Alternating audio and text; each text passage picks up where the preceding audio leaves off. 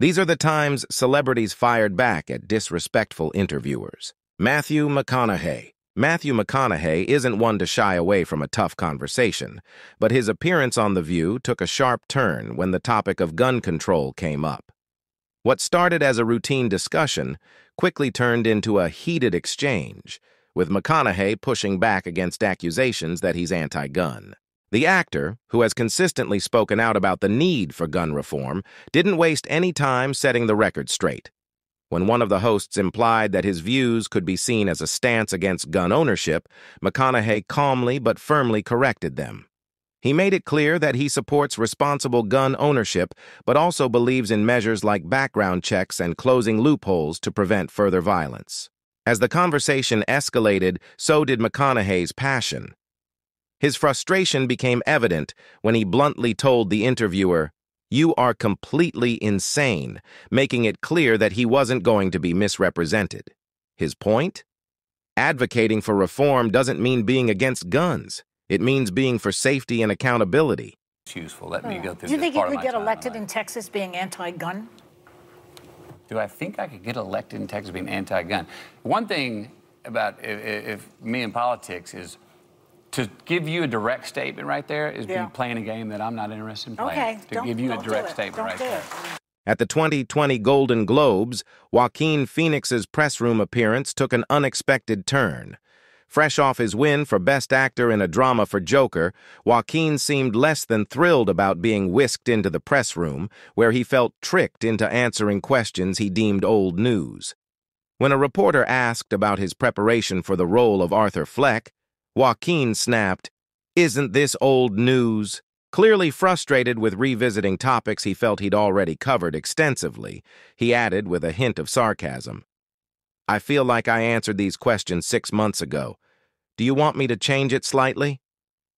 Despite his irritation, Joaquin went on to discuss his intense preparation for the role, which included extensive research and weight loss.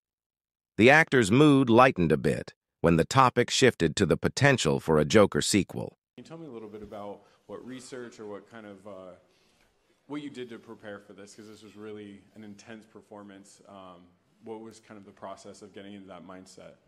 Isn't this old news? Isn't this old news? Didn't I, didn't I, I feel like I've talked about this for six months. What? I mean, I, right? I mean, I feel like I, I, I answer these questions.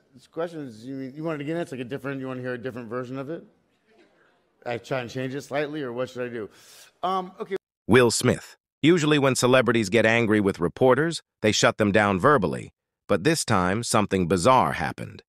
At a seemingly routine film promo event in 2012, the unexpected happened. Will Smith, normally known for his easygoing charm, slapped a reporter in front of a stunned crowd. The incident unfolded when the reporter, pushing the boundaries of personal space, tried to plant a kiss on Will's cheek. Will had been greeting the press with his usual warmth when the journalist, known for stirring up trouble, leaned in for an uninvited kiss. In a split second, Will's reaction was both surprising and swift, a slap that echoed through the room. His face, usually so expressive and open, showed clear signs of frustration and dismay.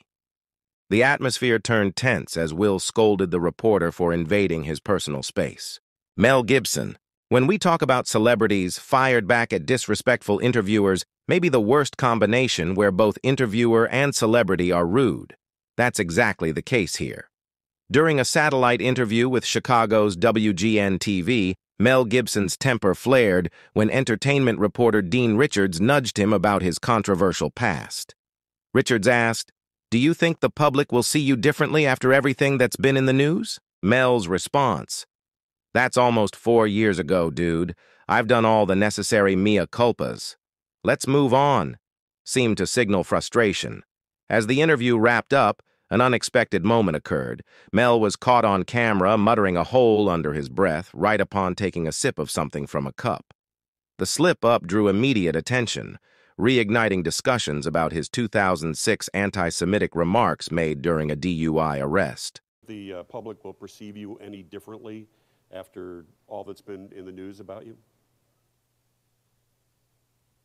What are you referring to specifically? Refer, referring to the, uh, you know, the uh, drinking problems, referring to what's been called the anti-Semitic that's- rant, referring. Yeah, that's all, that's- all, all those I things. thi- you know, you know what I'm yeah, talking about. okay. Uh, okay, so uh, that's almost four years ago, dude. I mean, I've moved on. I guess you haven't. Well, So I'm I'm just. I'm just wondering if you think that the, the public has, has moved on and will perceive you in the same light. Well, I certainly hope so. You know, it is a while back, and uh, you know, I've done all the necessary mea culpas. So, um, let's move on, dude. Come on.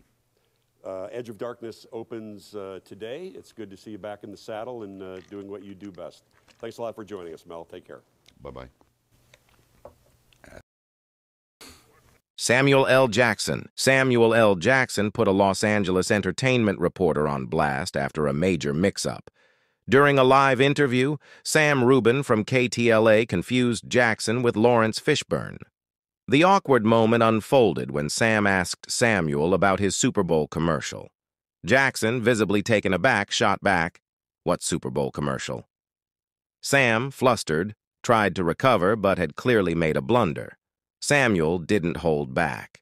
You're the entertainment reporter for this station, and you don't know the difference between me and Laurence Fishburne? he demanded. You're busted.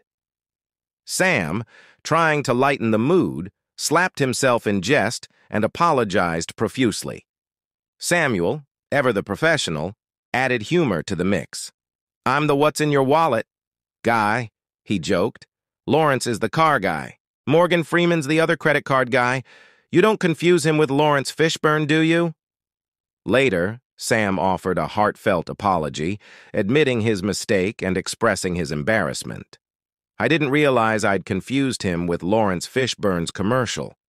I felt so dumb I didn't even bring up the Captain America ad that ran during the Super Bowl, Sam said. Did you get a lot of reaction to that Super Bowl commercial? What Super Bowl commercial? Oh, you know what? I've admit my mistake. I, you know See what? See, you're you're as crazy as the people on Twitter. Right. I'm not Laurence Fishburne. That's my fault. I know that. That was my fault. Uh, my mistake. You know what? we don't all look alike. Father, you're we may exactly be all right. black and famous, You but are we all don't look guilty. alike. I am. I. I am guilty. Um, I you're am busted. I am guilty. He thought you were Bob Dylan. Right. That's right. You're the entertainment reporter. I know. Which one was the most shocking?